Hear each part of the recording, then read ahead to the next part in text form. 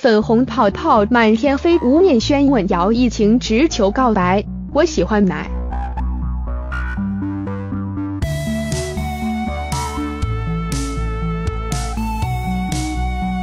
吴念轩在三十一分之三六播出的 TVBS 欢乐台翻墙的记忆，不断使出大绝招追求真爱。他饰演的老 K 对 Me Me 姚逸晴是一见钟情，在本周第五集中，除了唱情歌、直球告白“我喜欢你”，还不断上演爱的抱抱。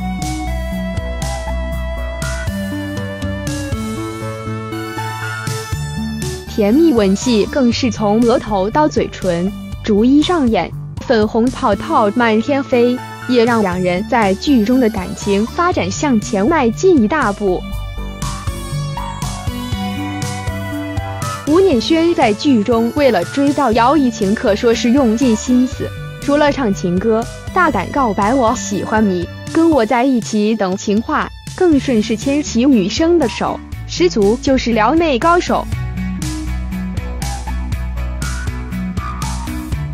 剧本原本安排两人在码头边接吻，但姚以晴和导演何润东现场讨论时，认为按照角色心境，这时应该还不会进展到这步，所以建议先去瞧。这也让何润东逮到机会对入吴念轩说，他就活生生把你们的吻戏删掉了。然而吴念轩私下却和导演偷偷讨论，因此正式拍摄时，他采取偷吻攻势。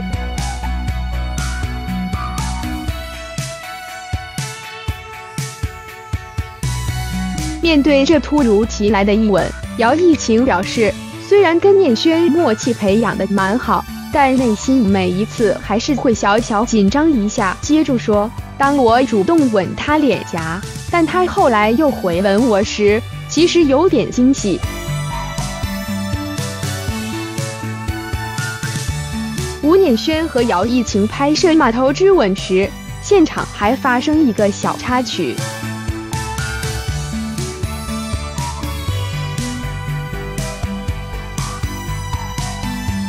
当导演和润东看到吴念轩用手扶起女生下巴的接吻姿势，马上搞笑评语：“你扶人家下巴很老手耶，又骗到一个女孩子的那种感觉。”